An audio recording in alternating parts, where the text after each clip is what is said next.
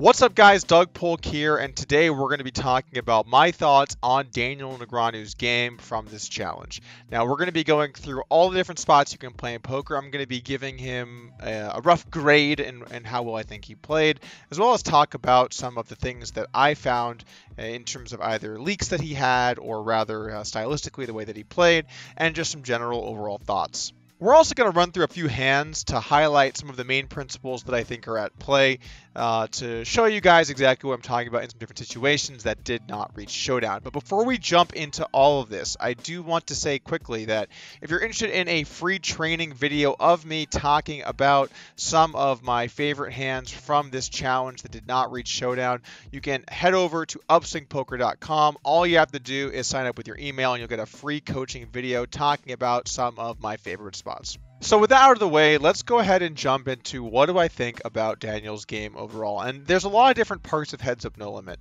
There's your pre-flop ranges, there's your pre-flop sizes, there's your flop sizes, there's your flop frequencies, there's frequencies on every street, there's your ratio of value bets to bluff. There's so many, so many, so many different things. So I'm going to try and talk about a lot of different ones, and maybe we can start to get you guys start to get an idea of uh, the way that he plays and exactly how good Daniel is at Heads Up No Limit.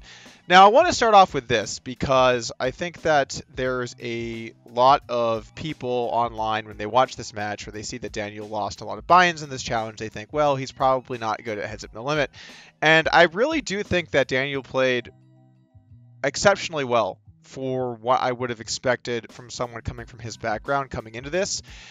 It's a completely different beast when you play heads up. You have to play, you know, more or less the vast majority of your hands. You're going to get constantly put in tough spots. You're going to have to make some late calls. You're going to have to make some some um, sharp bluffs. You're going to have to constantly be tagging pots, and you're going to have to get out there and fight for it. Now, I don't think he was quite ready for this, you know, this degree of, of, of, battling. I think that when you come from a, a live poker background, tournament background, and then you're just thrown into this, I think it's a very hard jump to make. But I do think that Daniel played exceptionally well considering that his background did not have much experience in this format. And from a lot of the frequencies that I had my team track, which was legal, we decided to allow that uh, a few weeks into the challenge, I found that he played relatively good in most situations. So there's not going to be too many spots where I think that uh, you know, Daniel played really badly. Uh, there's a couple spots that I think he played poorly, but overall, I found that his game was at least reasonably solid in a lot of different places.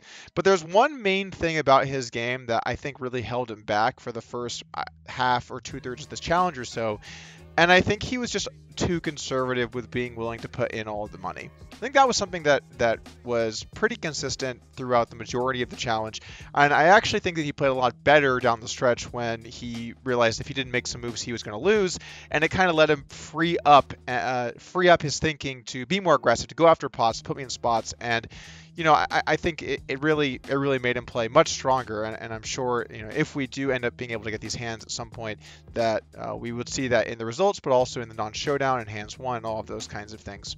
So in terms of uh, Daniel's overall game, what I would give him in total, I'd say I'd give him let's just call it a, a B or a B plus. I think is probably a good a good rating. I think Daniel would beat anyone that is not an experienced heads up no limit pro. I just don't think they would have much of a chance.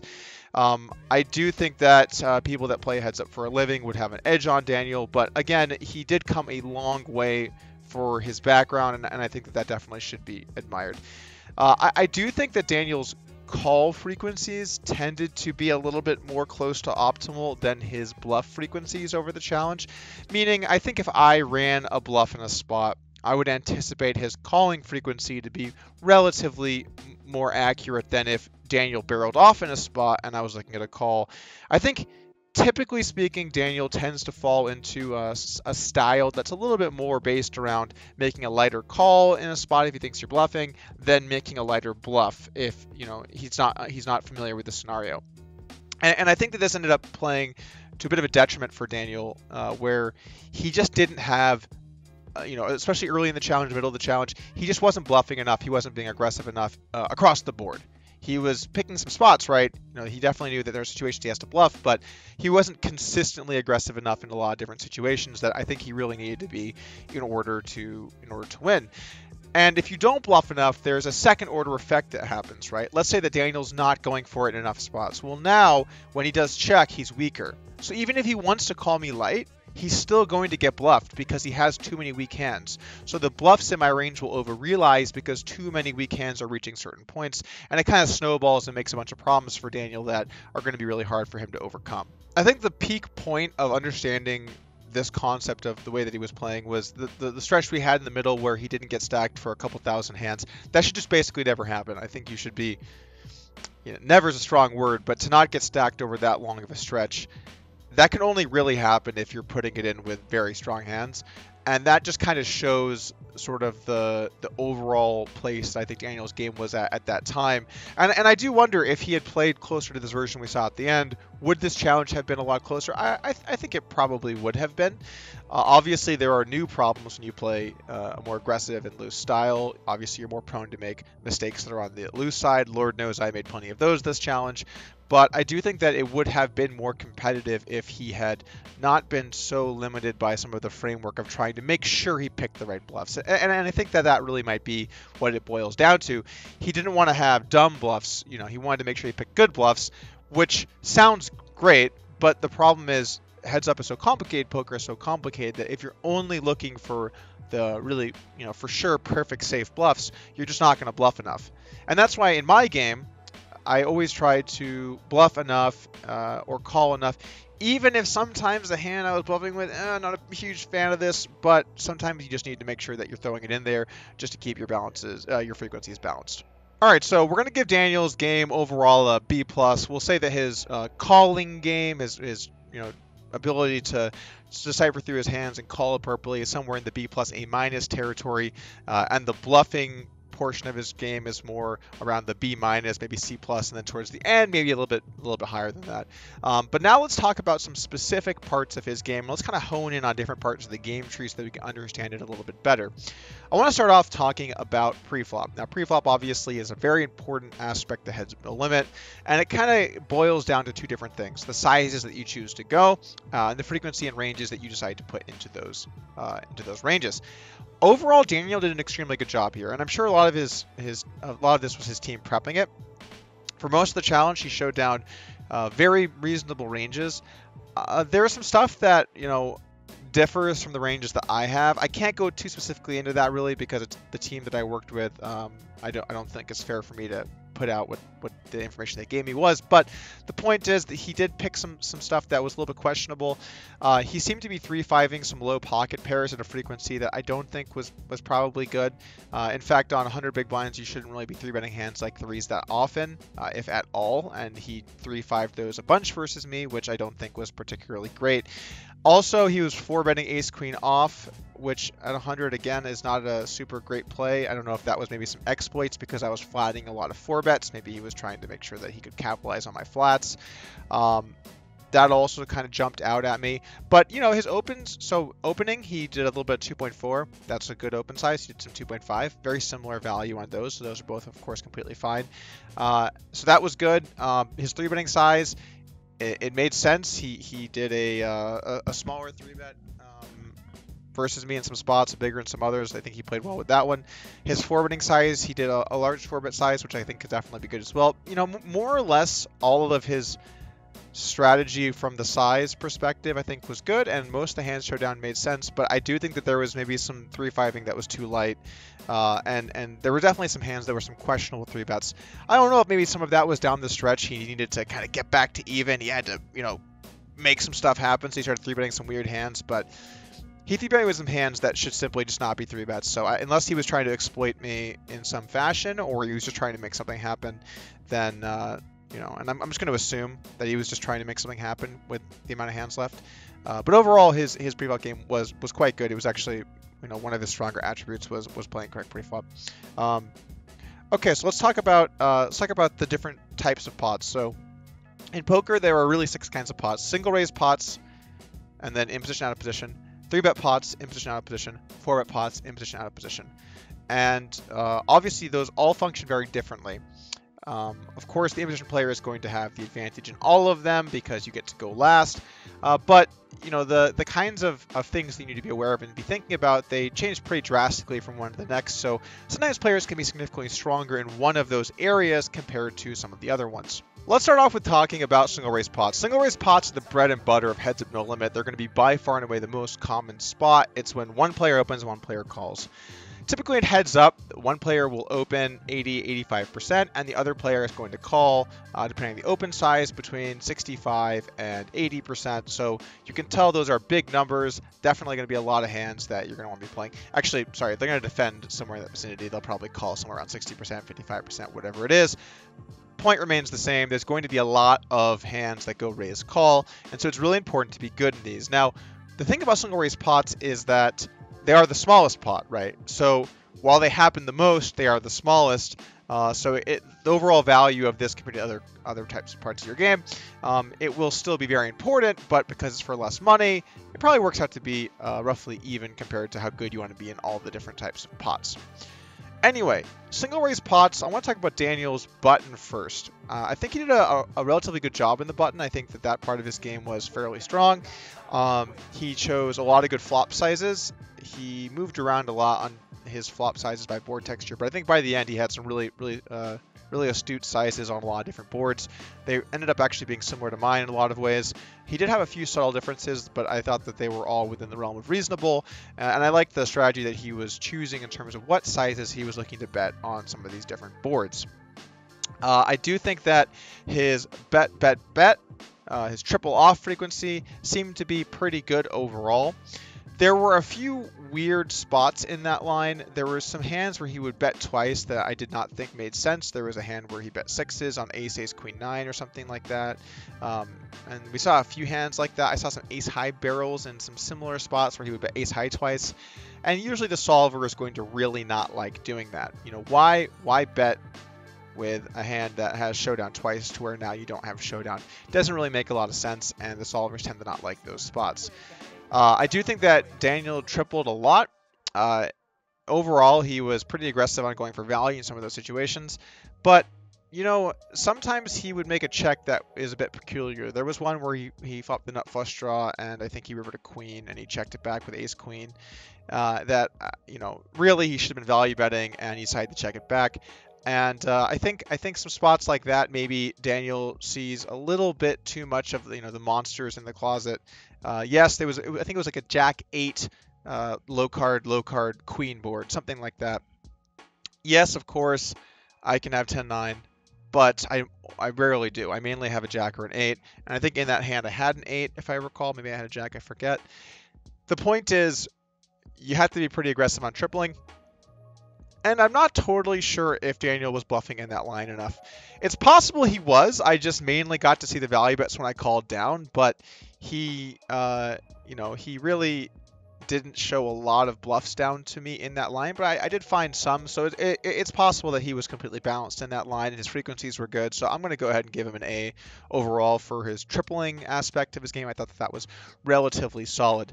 I also think early on he tended to have some sizes that didn't make sense, but by the end he wasn't doing that. And he was using a lot of overbetting on the river in spots that really made sense which is again something you should definitely be doing. I was doing that at the start. By the end, he was doing it as well.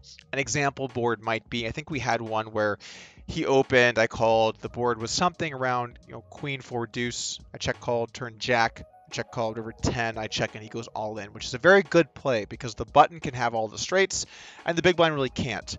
By the end, he was doing this stuff uh, relatively frequently. I think it was probably, you know, given how often he was doing it, it was probably fairly balanced. And uh, I think he did a good job here. I think overall that was one of the stronger portions of his game post flop was kind of picking out those spots. If he check back the flop, uh, I think I think overall he played well versus turn probe. So turn probe means flop goes check check, uh, and then I bet the turn. I think overall, based on the numbers that I had for my team, he played relatively strong against uh, turn probe and river probe. Um, so I think he played pretty well in those lines. Uh, I will say if it went check, check, flop, check, check, turn, and I bet the river, I think he probably folded a little bit too much there. I don't think he trapped enough hands by checking back the turn. So uh, I think that was a spot he could definitely improve on a little bit. But it's also tough because he folded a lot there, but I used some very big sizes in that spot. In fact, I used a lot of 200% pot, which if you use that, the button's going to have to fold a lot. So it's possible that he was playing relatively well there. But if I had to pick, you know, some of the weaknesses that I think that you know he faced in some of these spots, I think that the uh, River Probe was probably one of his weakest attributes. And another thing that I think really haunted Daniel in position in this challenge was just just being afraid to get to get check raised uh, or or have me bet small. He raises and I re-raise. We saw a bunch of hands where I would bet small or I would check and he would check back or call with a hand that really just has to raise. It just has to raise.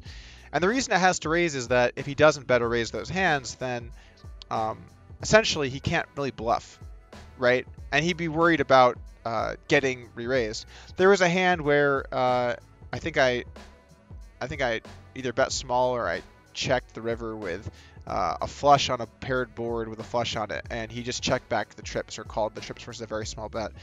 And it's just a spot where, yeah, he owned me because if he had raised or bet, then I would have re-raised him, and he would have been in a horrible situation with trips. But if you're not able to bet trips in that spot, it's hard for you to bluff, and uh, you're not going to get to win as many pots. So that spot, I think he really needed some help with. I think he was a little bit too, he leaned a little bit too much towards, oh, I don't want to get raised. Uh, and, and, and I get where he's coming from. It's tough when you're playing opponents that have really, really tough out of position games, lots of check raising. You're always worried that they're going to be check raising you. Um, their frequencies are good, they're balanced. You know they'll bluff you, you know they'll value bet you, you know they'll bomb it. They're not afraid to really play for a ton of money in that spot. Uh, and you don't want to deal with that when you have um, good hands that aren't amazing hands, but you still have to bet you know, you just have to bet in those spots, and you can't be worried about if my opponent's going to check raise or not. You need to bet effectively, and then when they check raise, think about all your hands, categorize them effectively, and you know, make the calls that you need to make. Here we're going to talk about an example hand in the spot that I'm discussing.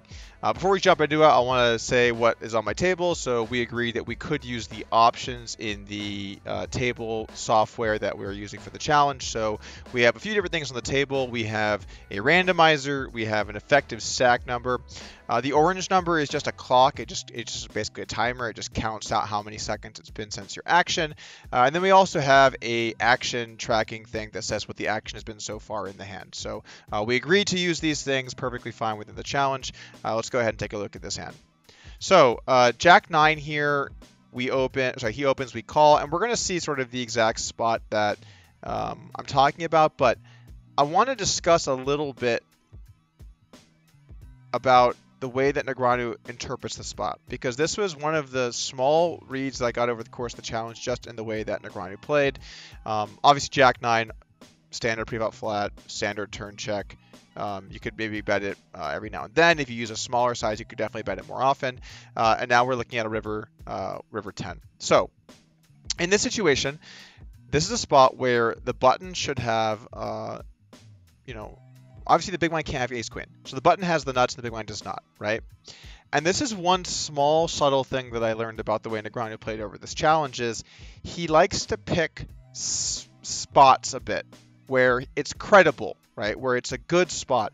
And if we look at a lot of the big pots we played in this challenge, they tended to be spots where basically one the, the other player can't have a lot of the really strong hands and he can so I think that in a situation like this, and this is a spot I've caught Negreanu bluffing many, many, many times this challenge, like three or four times this challenge, I've seen him bluff in this exact situation where he can have ace queen and I cannot. And that's an important aspect of this. But you still need to pick hands that make sense to bluff with. Uh, and we're, we're actually going to see two different concepts about Negreanu's play in this in this hand that I think are really important that um, Negreanu could have improved a lot with by just playing a little bit differently.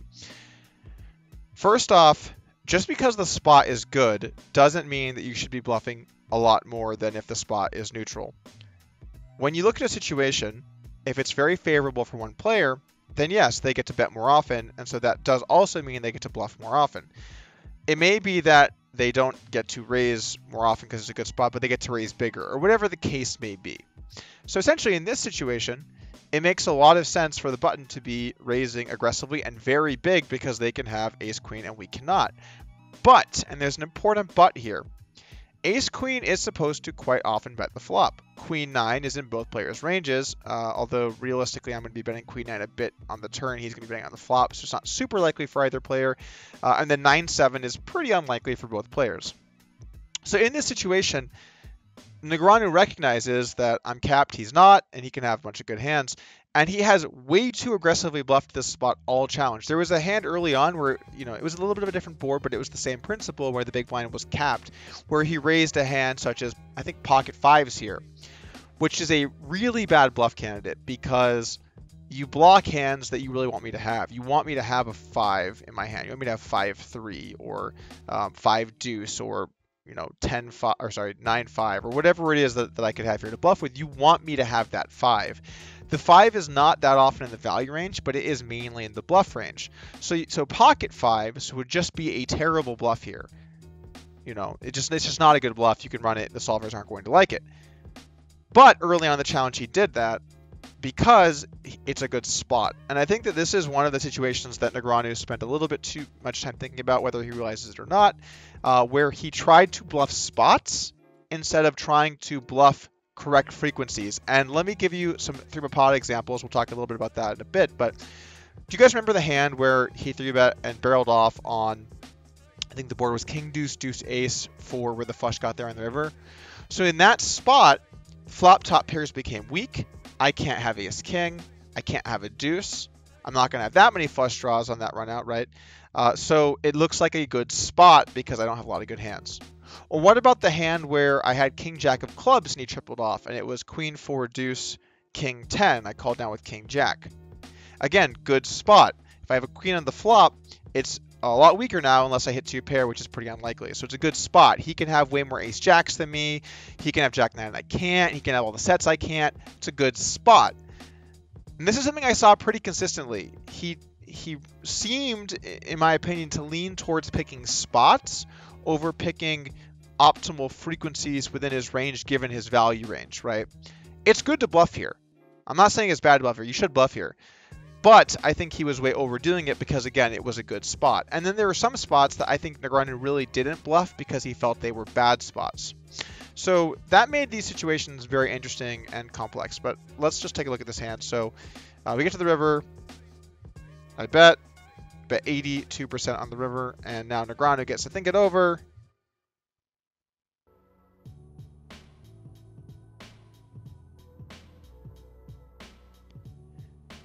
And ultimately, he decides to raise. All right, so he raised 100% pot here. Now, this is the problem with this situation for Negreanu. He has not raised thin here much at all this challenge. He can raise, you know, he can raise some, some strong hands, of course. He's not going to have 9-7, which, you know, 100% pot definitely sort up more of 9-7, maybe strong two pair. Um, He's not going to have queen 9 all that often. I think he should be being flop with queen 9 something around 50, 60, 70% of the time. And he's not going to have ace queen all that often, depending on his flop size. He should be he should have ace queen here something between one fourth the time and half the time. Um, really depends on his flop size, what's going on there, but it could be as low as 15% of the time. So he doesn't really have many of those hands, and I also don't think that ace queen really prefers this size. I think either uh, you're going to want to put ace queen to your smaller size so that you can sort of trap and re-raise it, or you're going to use a very big size saying that you do have, in fact, ace queen. When Negreanu raises here, he's not raising King 10 because he doesn't want to get 3 bet. He's not raising Jack 10. At least I don't. In my, in my, opinion, maybe I'm wrong. Maybe he is raising King 10 here sometimes, but I think he's really just raising straights and maybe you know pocket tens, maybe King 10, but he's raising very thin for. He's raising very um, only. He's only raising with very strong hands in the situation. So having a 9 here is quite good. If he did occasionally have 9-7, obviously we block that. Uh, queen 9, block that. Um, 9 is a is a fairly relevant card. Uh, much better to have a queen, of course, but still at the same time, uh, 9 a good card, and then a jack as well.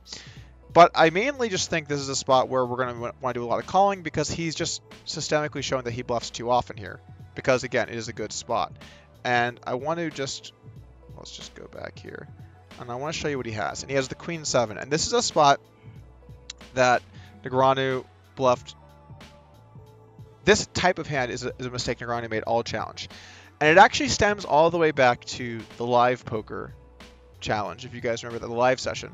We were, we were chatting, and playing a hand, and then I made a comment, and I forget what it was, but it was something, you know, something like I was considering bluffing with a hand that was a pair and a straight blocker. And he said, well, why would you bluff with that? You had a pair.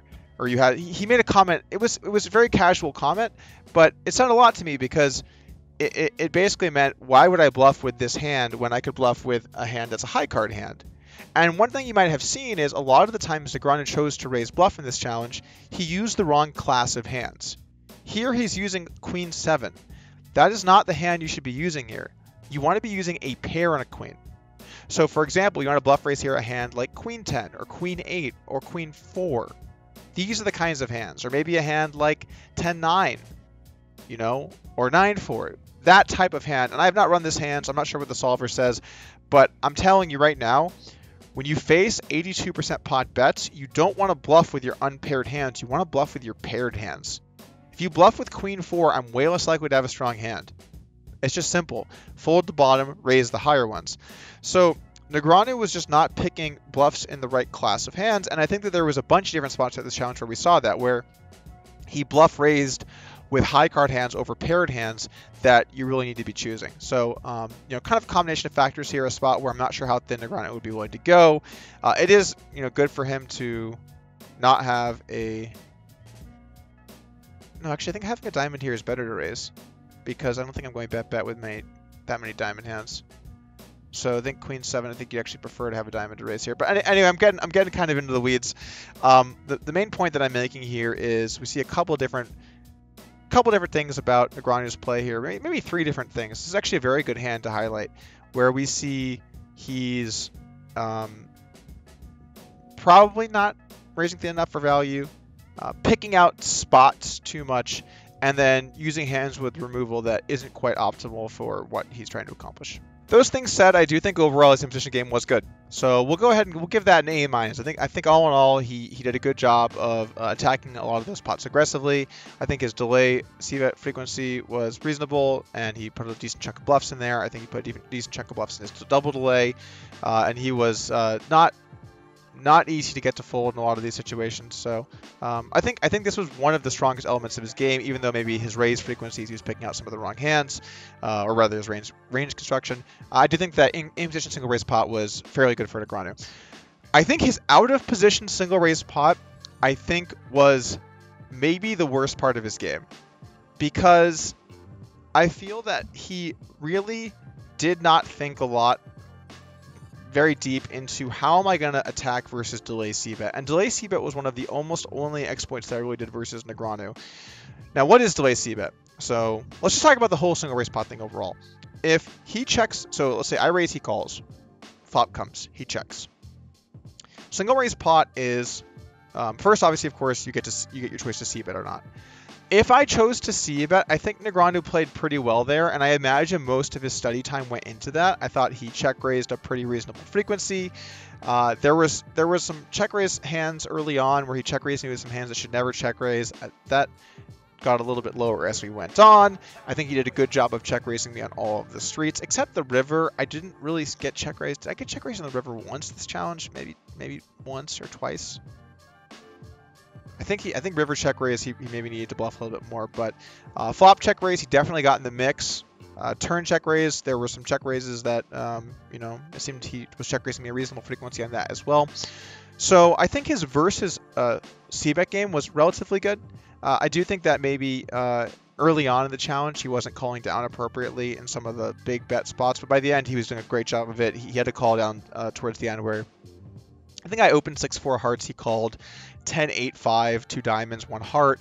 He check called, turn ace, two hearts now as well as two diamonds. I have the flush and a gutter. He checks, I bet very big. He calls, river is a, um, uh, a deuce, I think, and he checks and I just jam bluffing six high, and he calls ace three, which was a pure call, very good call from the solver. Really liked his play there. So uh, I think he did a good job versus the the c bet portion, but I think that there was some real problems for Negreanu when it went check check, and I, am hoping we can eventually get the hands so we can see how it went. The problem for Negreanu when it went check check was he probed too much of his value, and he did not check call the turn enough, and he did not check raise turn anywhere near enough. If the flop goes check check and you're in the big blind, a lot of things are at play now. You need to bluff enough so that when you do check, you're stronger. You also need to bluff enough so that your value bets get paid when you're betting for value. It's just correct poker. But you also have to trap because if you're not check calling traps or check raising traps, the button can bet very fearlessly. And normally I use a bit of a bigger size in some of these spots where he would check, but I used a 58% pot bet here. You might have seen this in a bunch of different spots uh, because his fold frequency was just too high here. He was folding way too much to delay C bet. And then he also was not check raising me. So I could work in a few more thin value bets than normal. I could, you know, that's not that great because he's just folding anyway, but I could do that. And I, I low frequency maybe put a little bit more of that into it. Uh, I could bluff there very aggressively. Um, if he check called, his river fold wasn't that low, so uh, I'd still bluff. I'd use some big size bluffs, some small size bluffs, and some give ups, but I could kind of pick through my bluffs a little bit more accurately on the river, knowing that uh, his range has become considerably stronger here. This is a spot where Negreanu was weak. It's one of the few spots that I really think that he he made an error on, and and I think a big part of that was he was trying to fight my check back range, you know, from the betting perspective, but not from the checking perspective. And this is what's so tough about poker, and this is why it's so hard to be good at this game. If he really tries to go after me with betting, right, betting for value, and he certainly tried to drive the value hammer when he would bet the turn, well, now his checks get weak. So when he checks and I have air, I overrealize, right? And when he bets, yes, he's going to own me a bit more when I do continue, and I'm going to continue quite often. But now all these other hands get to overrealize because he's not defending this spot enough. Honestly, I don't even know how often I got check raised in this spot in this challenge. Maybe a couple percent, if that. He's supposed to be check raising pretty aggressively here. In fact, you probably might have seen I had some hands where I check raised bombed. You know what? Actually, I have just the hand. Let me pull it up and show you guys. All right, here's the hand I wanted to bring up and talk about. I'm actually surprised I managed to find this so quickly, but here we go. Okay, so this is a hand that I played against Negreanu that really highlights the point. Negreanu never did this in the entire challenge. I'm sure he was working on so many other things that he just didn't have time to think about this. But basically, uh, he goes, he opens, I call pocket threes. Again, not three betting these to jam. Flop goes check, check. Ace on the turn, a turn you're going to want to be checking a lot in the big blind and we check it over to him. He bets half pot, which is fine. I think usually you want to go a bit bigger on the ace, but whatever. And then we check raise big. He bets two and a half big blinds. I bet 20 big blinds, basically saying, hey, if you call this, I'm jamming the river. Okay. Now, you can also use a smaller check raise size here. Uh, there are, you know, some boards that are preferred bigger, some boards that are preferred smaller. Um, I think this board prefers bigger, but it really depends on the board texture and it can change pretty pretty quickly. Uh, but I think in this in this spot, this one was the preferred size. And I'm saying, hey, I'm going I'm going for it all here, right? I know it's very unlikely that he has 5-3. I'm going to have 5-3 suited for sure pre. I'm going to have sets. I'm going to have ace-4, ace-deuce, ace-8. I'm going to have all these hands and he's very unlikely to have them. Ace 8 is uh, betting the flop should be every time. Ace 4 and Ace 2 should be at least low to mid frequency betting the flop, especially Ace 4. Ace 2 is probably a bit less. 5 3 should be mid to high frequency betting the flop, and Daniel doesn't open 5 3 offsuit. He opens only 5 3 suited, which is a slight difference. It'll change the way you want to play this spot. So, you know, I think about all of these things. I'm going to check raise here. I'm going to check raise some of the value. So if I have value bet, sometimes I'll bet the turn. If I do check it, I'm going to check raise you big, and then I'm going to layer in bluffs with straight draws, flush draws, uh, and hands such as pocket threes here to really make Daniel's life difficult because he's going to have to play for a lot of the money with a range that's not really going to have that many two pairs. Uh, so we check raise, he calls. Uh, I also want to say I was down four binds at this point, and I was thinking, man, this is going to look so punty if I just get stacked again here. But uh, we do end up jamming the river and uh, Daniel does decide to to lay it down. Uh, I ran this hand afterwards. It's not good. You're supposed to use hands with a five or six in them. Makes sense. Pocket threes actually blocks some call folds, so this was not the approved hand. But this is this is what I'm talking about, guys. Basically, when you're in hand, sometimes you have to just go for these bluffs, right? And on the turn, what was my RNG when I check raised? Okay, so I RNG to four. So, you know, this is this is just basically a spot where the, the turn check raise was good. He calls, and then on the river, I RNG it again, and I get a 6. Okay? So very low frequency turn, very low frequency river. I'm putting him to the test and making his life very difficult and making it so delay betting is a lot more more tough for him to do. I never had to face this in the entire challenge in the, in the big in the small blind. I never did. He rarely check raised me here. When he did, it was small. It didn't put a lot of pressure on me. This was a spot that he really needed to work on and he really needed to to improve because this is a spot where you can really hammer people that are uh, too conservative in the game tree, and it also lets you have bluffs as well as value bets. And I think that this bluff really highlights sort of the, my approach to poker, which is, look, I know I need to be bluffing here, right? Uh, I'm unsure if threes are low frequency now because obviously it's clear if five or six is better. But if I'm not sure, I'm just going to do uh, a low to mid frequency bluff. I get the six on the RNG, we're going for it. You know, I know I'm going to have good hands here. I know I'm going to have five, six here. I know I'm going to have two pair here. I know I'm going to have a bunch of different hands. So even if I'm not entirely sure and ended up being wrong, I want to make sure that I'm bluffing enough.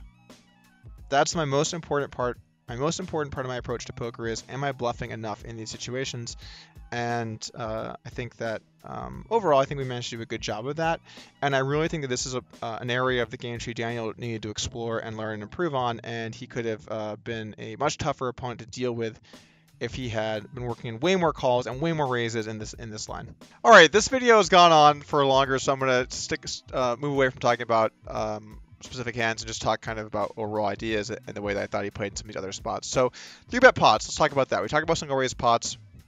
In position, played well, give it an A minus, something in vicinity. Out of position, some real problems in the delay lines. Maybe it's more in the vicinity of a C, C plus. Uh, you know, he needed he needed to make my life more difficult uh, by by calling enough in some of these spots, raising enough, and really fighting for some of those those pots.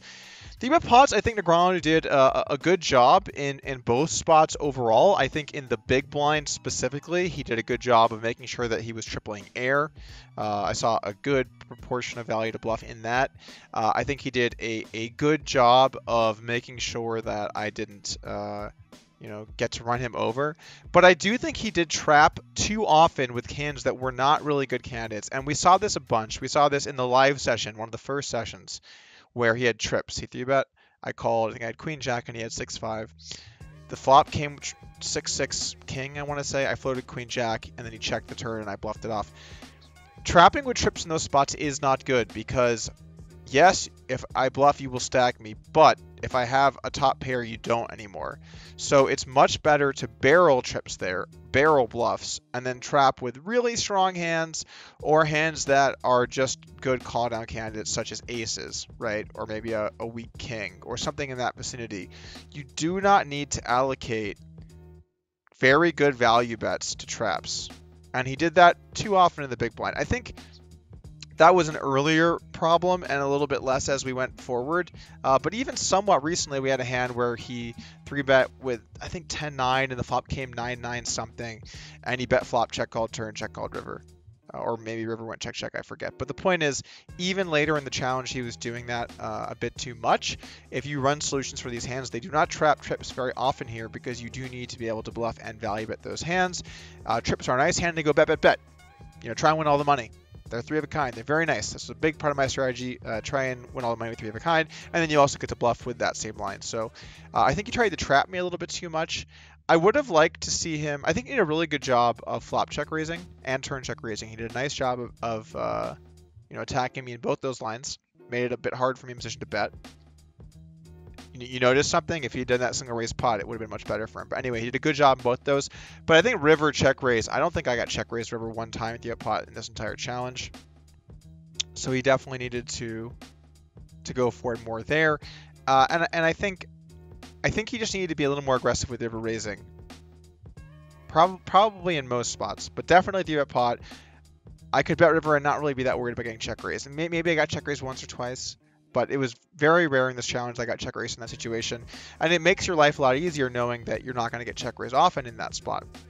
Um, so that's out of position. I think overall his c-bet frequency was pretty good. His sizes got really sharp over the course of the challenge. Uh, his barrel frequency seemed pretty good. I, I, I, would say I'd give his his three pot game out of position, um, you know, something in the vicinity of a B plus. Uh, I think he did. I think he did a pretty good job there. Um, maybe maybe even an A minus towards the end. But uh, you know, he, he trapped a little bit too much, and he needed to work on some river check raising. But I think other than that, he did a, he did a good job balancing in a lot of those spots, uh, and it was you know not easy to bluff him. His fold frequencies were good. Uh, I think I think he did a nice job um, in a lot of those hands. Um, in position to a pot, I think he played a little bit worse. Uh, I would say that he uh, early on in the challenge, I think he had some sizing tells on his raise sizes. It seemed pretty consistent that when he raised small, it was bluffier. When he raised big, it was more value heavy. Uh, I also think that uh, he did a bunch of weird turn jamming this challenge. I know towards the end he was doing that because he wanted to try and get unstuck in the challenge. There was a hand where I had I had queens and I bet flop on ace four three um, two spades. Turn queen, I bet pot. He jammed. Uh, I called and he had seven five of spades. Not a good play. Um, there was a hand really early in the challenge where I had top pair on a queen high board. I bet turn. He jammed queen three. Not a good play. Uh, and then there was another hand recently where I think it was uh, 8 8 3 deuce. I bet flop bet turn with jacks and he jammed sevens. Not a good play. So he was just way, way, way, way, way, way, way, way, way too aggro on those turn jams.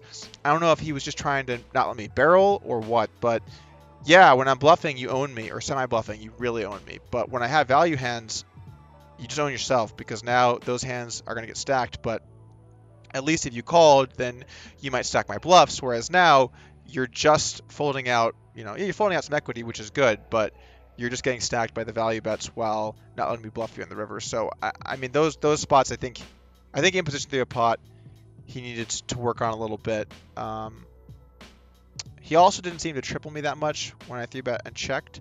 My my instinct is that he wasn't bluffing that spot enough. Um, and then some of the sizes he used when checked too, I think, I think were a little bit weak. And then some bluff candidates he just needed to fire with that he didn't. There was one where I think he called a three bet with nine seven of spades, and it was queen eight eight uh, rainbow or flush draw. I forget exactly. Uh, nine seven, not the flush draw. And he floated the flop with the backdoor flush draw and nine high, and then it went brick brick, I think, and he, you know, bet the turn, gave up river. It was just a hand he has to bluff. I, I just can't imagine checking that back. So uh, he, he did have a lot of other bluffs there, though. I caught him bluffing that spot multiple times. I think his uh, overall, he probably was a little bit under bluffing there, but but did a, a, relatively good job from what I saw. But you know, if you're not bluffing that, it makes me think maybe there are spots he's just not you know willing to bluff enough. Um, and again, it's not a good spot, right? The queen eight eight. I could easily have a queen here. Could bet check call the turn. Not a good spot, and, and, and it just kind of shows he's thinking about too much in spots, not enough in ranges um, for some of these situations. So the pots overall, uh, I think he he played it. Um, I think neither spot was bad. I think neither spot was amazing. Um, but I think he did a relatively good job in both these, and you're already seeing how many things he has to sort of piece together here, coming from or starting from scratch. Uh, I think he did a, a, relatively good job in the pot overall, uh, especially by the end. Uh, I think early on there were some much bigger problems. There was some 20% turn pot c betting that was very bad. Uh, there was some hands that were very bad. Uh, by the end, I think he he really fixed a lot of those leaks. Finally, I want to talk about four bet pots a little bit. When we four bet and he called, I think that in those situations he was way too timid early, mid part of the challenge. By the end, I do think he was going for it, going pretty ham. Uh, so it's tough in those because it's a small sample. But just my takeaway was he was playing too conservative early on, and then uh, you know by the end of it, it loosened up and was playing a, a much stronger game in those post flop spots. So I think out of position, you know, I'm not even going to grade it. It's just too tough to say. It's just a small sample, but uh, you know, I, I, I did see some, some interesting bluffs. There was an ace three clubs one where it was monotone flop by trapped aces, and he just bet bet bet turn jammed river. Thought that that was good given his uh, pre-flop flat. So I, I think that there are I think he made some strides there. I think early mid part of the challenge, he just seemed he just seemed so weak in those spots. I don't know if he was just you know playing too tight or whatever it was, but I think he did work on that, and got better over the course of it. Uh, his in position four bet pot game, I, I think he went bet bet check too much. I think that there were a few too many times where he tried to bet his ace high twice to show down. And, uh, you know, I think he, he picked some okay bluff candidates. There was one where he uh, bet and then jammed a turn with ace queen on a king 10 x king board. But that was uh, reasonably reasonably solid play. Solver actually did, did like his play there. But he had some river barrels I think he needed to put in, put me to the test.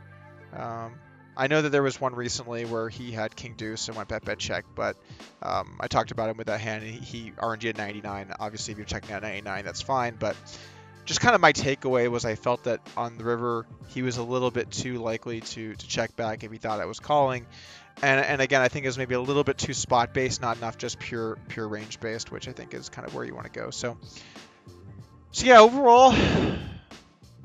I mean, I've played Negreanu for, for three months, so there are tons of things that I, I think and can say, and um, I think I've said sort of the broad strokes.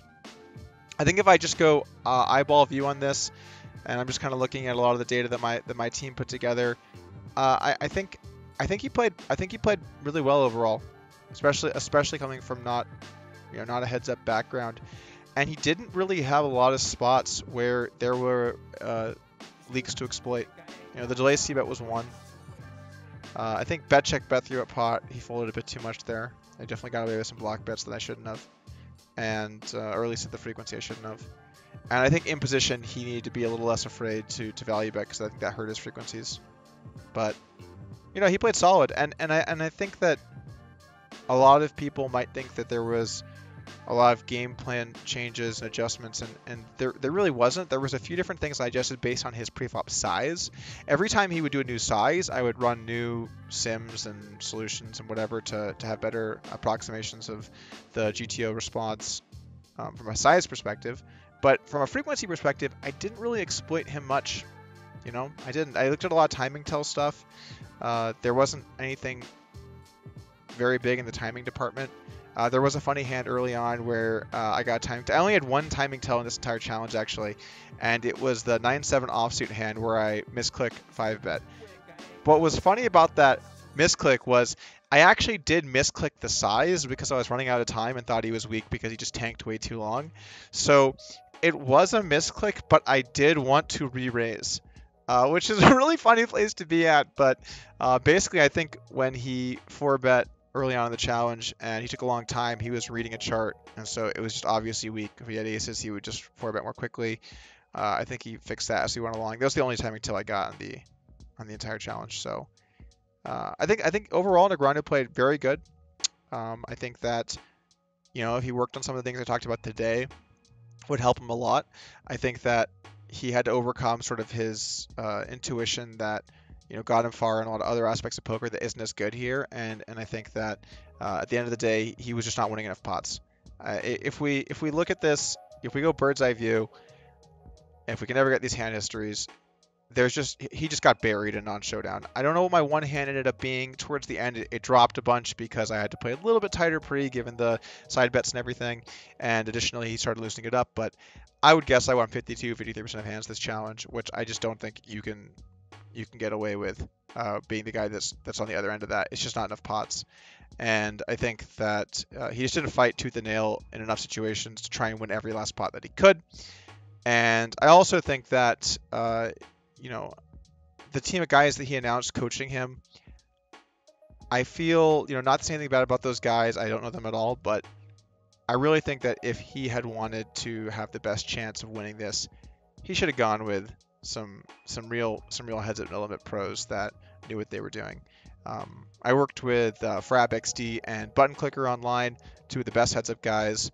We did a bunch of coaching ran some stuff, worked together, improved all these things. You know, these are guys that actually crush the high stakes. I, I don't see why you would go to people that don't play heads up to learn heads up. That seems like an error to me. Now, they did do a good job with a lot of the stuff that they implemented and changed, so I'm not saying that, you know, they didn't do a good job, but why would you not go to the guys that are the top players? That just that will just always remain a mystery to me, right? I, you know, you could for sure have made some deal with some of the top guys that could have put you way more in the ballpark of of uh, what you should be playing rather than guys that, that are probably smart and have good resources but but don't have that experience uh, of actually winning at the top level. So anyway, that's my that's my thoughts, guys. Uh, I hope you enjoyed this video. It's pretty in depth. If you want to learn more from me about some hands that I did play in this challenge, including some of my favorite non-showdown hands, I'm going to be releasing a free video that you just have to sign up for at Upswing with your email, and then you'll get access to that video. And then, um, yeah, so if you're interested in learning more, check that out in the description below, totally free. Thank you guys for tuning in. Hope you enjoyed it.